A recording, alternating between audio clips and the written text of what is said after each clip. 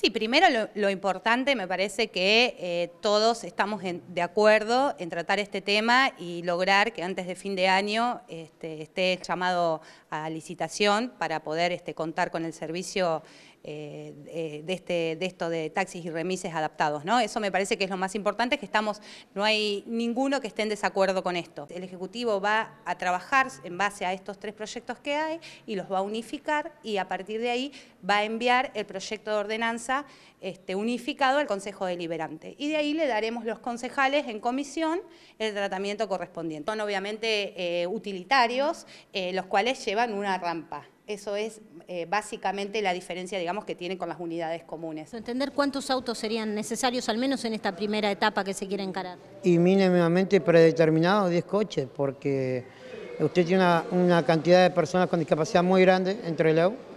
Lo podemos ver en cada movimiento que tenemos con la participación cada vez más de las familias con las personas con discapacidad. Entonces, creemos que lo mínimo tiene que ser 10 coches, porque la realidad es que hay muchas personas motrices de diferentes edades y, también las personas mayores. La charla que hemos tenido es para eso, para definir la cantidad y bueno, eh, ahora tenían que evaluarlo el ministro, el secretario de gobierno y los concejales.